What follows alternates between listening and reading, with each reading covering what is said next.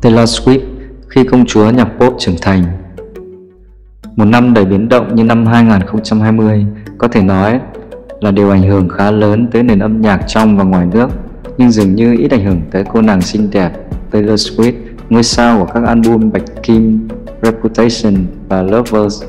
Không còn ở tuổi 20, công chúa nhạc country pop vẫn duy trì được động lực sáng tác bền bỉ. Album phòng thu thứ 8 Folklore của Taylor Swift trình làng trong sự bất ngờ của người hâm mộ. Tài năng không đợi tuổi Không ai phủ nhận rằng Taylor Swift nổi tiếng nhờ tài năng sáng tác nhạc ở tuổi teen. Ở độ tuổi 17, cô đã nổi tiếng trở thành siêu sao nhờ album đầu tay Taylor Swift ra mắt năm 2006. Hình ảnh nữ ca sĩ tóc vàng nổi lên như học trò cưng của thầy cô hay vương miện hoa khôi của trường trung học. Khi cô nữ sinh lớn lên từng ngày, cũng là lúc Taylor chuyển dịch từ nhạc country sang pop với các ca khúc thịnh hành với giới trẻ. Thành công hai album Red và đặc biệt 1989 năm 2014 khiến cho cô thành siêu sao nhạc pop với lịch lưu diễn dày đặc. Mùa hè năm 2020, đáng lẽ Taylor rong ruổi với chuyến lưu diễn với album thành công Lover ra mắt năm 2019. Tuy nhiên, việc cách ly tại nhà do đại dịch virus Covid-19 dường như là chất xúc tác mạnh mẽ cho năng lượng sáng tạo của Taylor. Album Folklore ra mắt hoàn toàn gây bất ngờ với fan hâm mộ với sự hợp tác với hai nhà sản xuất lâu năm Jack Antonoff và Aaron Dessner. Nữ ca sĩ sinh năm 1989 giờ không còn ở độ tuổi mới lớn, nhưng âm nhạc của cô vẫn trẻ trung, đi theo con đường pop country acoustic. Đó là nguồn cảm hứng bất tận cho đến album thứ 8, Folklore, sự gắn kết với cả các album trước đó, Lovers, hay yếu tố nghệ thuật và thương mại luôn song hành trong các album của Taylor. Khán giả có thể thấy cô chế giễu tập hợp bạn trai cũ trong bài hát The Man Người Đàn Ông hay bảo vệ cộng đồng LGBT trong ca khúc You Need to Calm Down. Bạn phải bình tâm trở lại.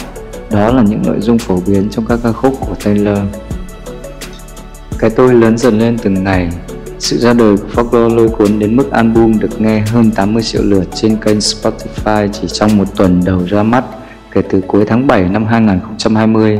Thông thường, mỗi khi Taylor ra mắt album, cô muốn đánh dấu một sự kiện quan trọng nào đấy chia tay bạn trai hoặc mối quan hệ với đối thủ. Nhờ trí tưởng tượng và tài năng sáng tác, âm nhạc của Swift dường như được kết nối với những giây phút riêng tư và chuyển động nhận thức. Với album mới nhất Folklore, Taylor đã có dấu hiệu chuyển hướng rõ nét về chiều sâu nội tâm. Cô là trung tâm, ngôi sao của câu chuyện chứ không phải người tình hay đối thủ cô không ưa thích. Trả lời trên kênh Beat một năm trước, Cô mô tả giới truyền thông luôn luôn đối xử với cô như một người phô diễn cuộc sống hẹn hò và việc sáng tác nhạc như là thủ thuật. Tuy nhiên, ít người chú ý đến thay đổi của Taylor khi lăng kính phê phán và châm biếm của cô dịch chuyển về phía bản thân hơn là bất cứ ai khác. Vì thế, album mới nhất của Fogler trở nên thu hút đặc biệt vì sự truyền dịch đó nhiều kỹ năng sáng tác điêu luyện. Điều thú vị ở Folklore là nó kết hợp được nhiều nhân vật, nhiều mốc thời gian khác nhau, cảm xúc, cuộc sống riêng rẽ bằng âm nhạc mộc mạc. Ca khúc Cardigan, Áo len là minh họa rõ nét cho tình yêu non trẻ và sự ngây thơ đã mất đi. Những câu chuyện man mác buồn So với các album trước đây, rõ ràng Folklore không có ca khúc chủ đề hoặc thực sự nổi trội lấn lướt về mặt giai điệu. Đây là một album mang tính nội dung cao, xoáy vào sự việc nối tiếp, nhớ nhung và sự trốn thoát. Hình ảnh tưởng tượng nổi lên trong album đó là bóng ma tìm lại kẻ sát thủ trong đám tang. Cô gái 7 tuổi với người bạn rắc rối, cuộc tình tay ba với ba nhân vật tưởng tượng, Betty, James và một người phụ nữ vô danh trong bản nhạc Cardigan.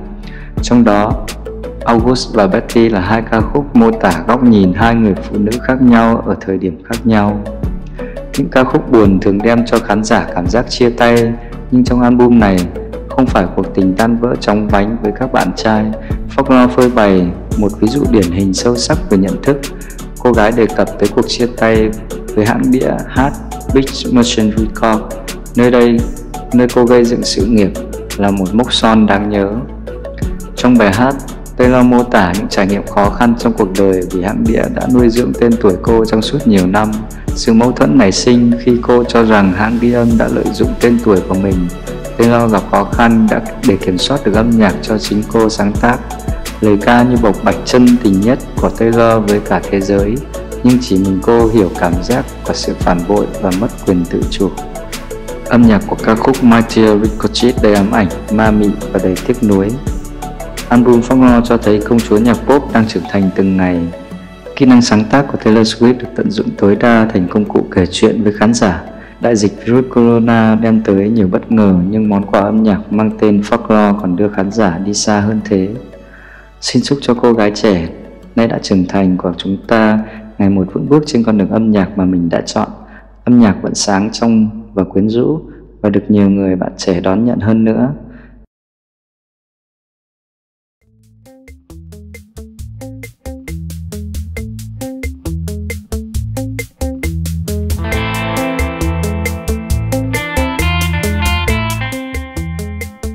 Xin chào các bạn đã đến với trang ngõ thông tin âm nhạc và nghệ sĩ Radio âm nhạc nơi cập nhật các thông tin về tình hình âm nhạc, nghệ sĩ đương đại trong nước và quốc tế.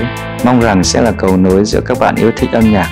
Xin hãy like và subscribe để ủng hộ cho chúng mình nhé. Xin cảm ơn các bạn rất nhiều. Xin chào và hẹn gặp lại trong các video tiếp theo của chúng tôi.